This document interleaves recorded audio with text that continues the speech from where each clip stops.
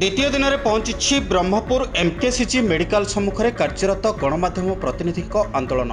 ଦକ୍ଷିଣ ଓଡ଼ିଶାବାସୀ ନିର୍ଭର କରୁଥିବା ଏହି ମେଡିକାଲର ପ୍ରମୁଖ ସମସ୍ୟାକୁ ନେଇ କାର୍ଯ୍ୟରତ ଗଣମାଧ୍ୟମ ପ୍ରତିନିଧିଙ୍କ ଶାନ୍ତିପୂର୍ଣ୍ଣ ଗଣଧାରଣା ଜାରି ରହିଛି। ବାରମ୍ବାର ଏନେଇ ଖବର ପ୍ରସାରଣ ପରେ ମଧ୍ୟ ସରକାର ଗୁରୁତ୍ୱାରୋପ ନ କରିବା ପରେ ଗଣମାଧ୍ୟମ ପ୍ରତିନିଧିମାନେ ଏଭଳି ଧାରଣା ଦେଇଛନ୍ତି।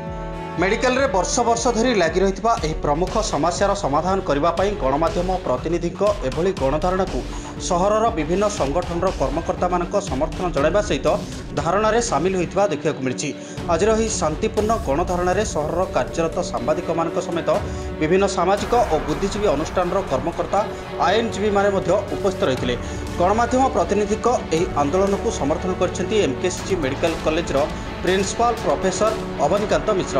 ରାଜ୍ୟର ବିଭିନ୍ନ ସ୍ଥାନରେ ରହିଥିବା ଡାକ୍ତର ଅଭାବକୁ ନେଇ ସରକାରଙ୍କ ପକ୍ଷରୁ ଅନିଚ୍ଛାକୃତ ଭାବରେ କେବଳ ଏମ୍କେସିଜିରେ ନୁହେଁ ସମସ୍ତ ସ୍ଥାନରୁ ଡାକ୍ତରଙ୍କୁ ବିଭିନ୍ନ ସ୍ଥାନକୁ ପଠାଯାଉଥିବା ବେଳେ ଗଣମାଧ୍ୟମ ପ୍ରତିନିଧିଙ୍କ ଦାବି ଯଥାର୍ଥ ରହିଥିବା ବେଳେ ଏହାର ସମାଧାନ କରିବା ପାଇଁ ମେଡିକାଲ ପକ୍ଷରୁ ଉଦ୍ୟମ କରାଯାଉଥିବା କହିଛନ୍ତି।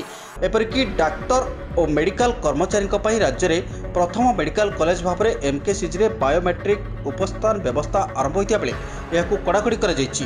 ସେହିପରି ବର୍ନ କେୟାର ୟୁନିଟ୍ ଖୋଲାଯିବା ସହିତ ଟ୍ରମୋ କେୟାର ସେଣ୍ଟର ସମ୍ପର୍କରେ ପଦକ୍ଷେପ ନିଆଯିବ ବୋଲି କୁହାଯାଇଛି। ସରକାର ସମସ୍ତ ବିଷୟ ଉପରେ ନଜର ରଖିଥିବା ବେଳେ ଏହି ସମସ୍ତ ସମସ୍ୟାର କିଭଳି ସମାଧାନ ହେବ ସେ ନେଇ ନିଜର ପ୍ରଚେଷ୍ଟା ଜାରି ରଖିଥିବା କହିଛନ୍ତି।